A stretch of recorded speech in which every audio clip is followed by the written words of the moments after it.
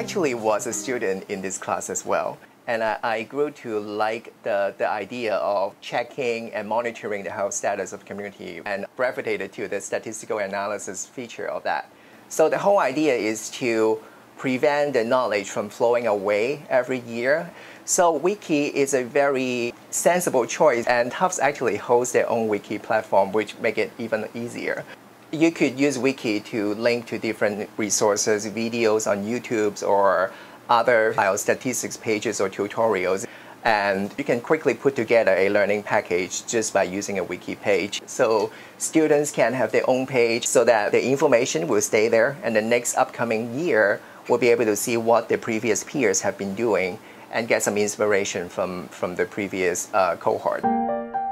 The topic I teach is in perception and cognition and class would not have been possible without the technology. So without the video conferencing, so we had real-time conversations. And after having been on a sabbatical in Germany, I met Dr. Elena Andonova, who was my partner in this class. And she went back to her home country of Bulgaria, and we started talking about how to do some joint teaching in a meaningful cross-cultural way. So we used Bulgarian folk music, US folk music, and so we, we showed that the unfamiliar, complex meter of the Bulgarian music for the US students led them to think that the music had lasted much longer than it had. And having these real time discussions, you understand when they're understanding the points you're trying to make, whether you have to describe it again, and you don't get that through, you know, sort of the written medium, which um, previously would have been how you had to do it. At Tufts, the way we have the curriculum set out currently, it involves a weekly three-hour lecture. And hearing a professor drone on for one hour is kind of challenging from the days I remember as being a student.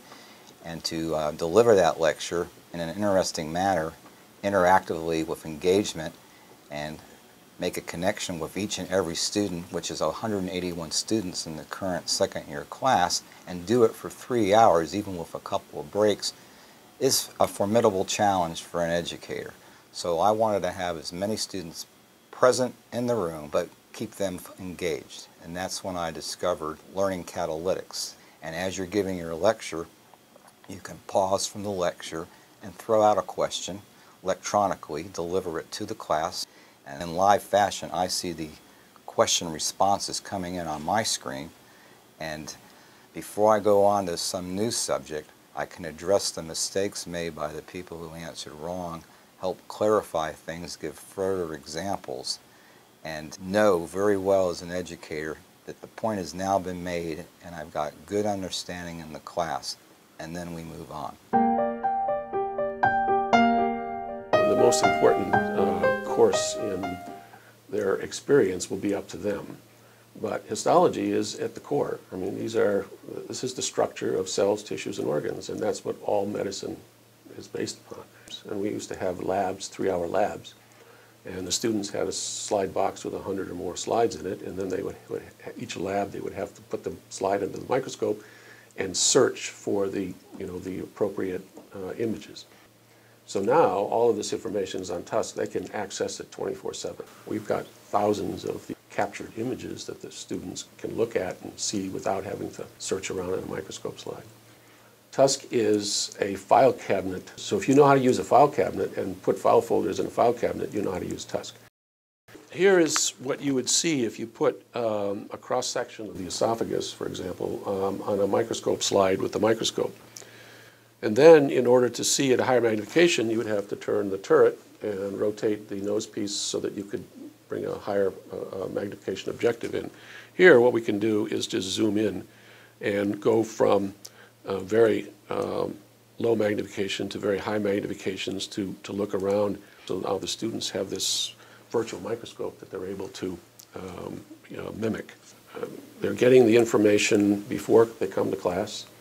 They have an opportunity in class to, to review it, and then they get the review uh, questions, and then they get the review of the concepts and images.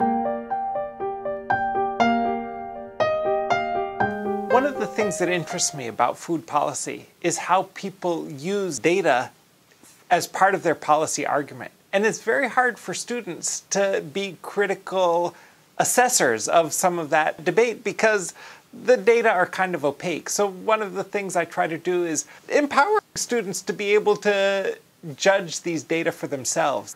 One example is the Thrifty Food Plan is used by the U.S. Department of Agriculture as a benchmark for the SNAP program, formerly known as the Food Stamp Program.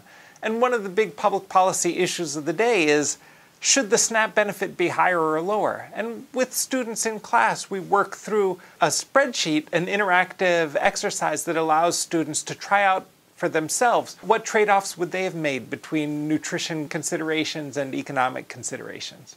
How do you participate in civic engagement in, in the United States as a citizen about the important food and agricultural policy debates of the day. These, these debates have been left to the experts too long, and I think a, a broader swath of input uh, is good for us all.